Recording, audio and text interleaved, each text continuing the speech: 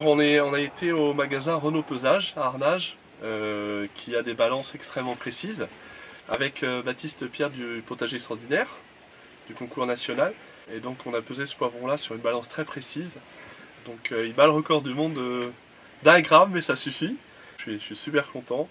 Et c'était l'objectif de l'année, donc objectif atteint et je suis ravi. J'avais des records nationaux et d'Europe et je, cherchais à, avoir un record du monde. Donc le poivron c'est un légume qui me plaît beaucoup depuis longtemps.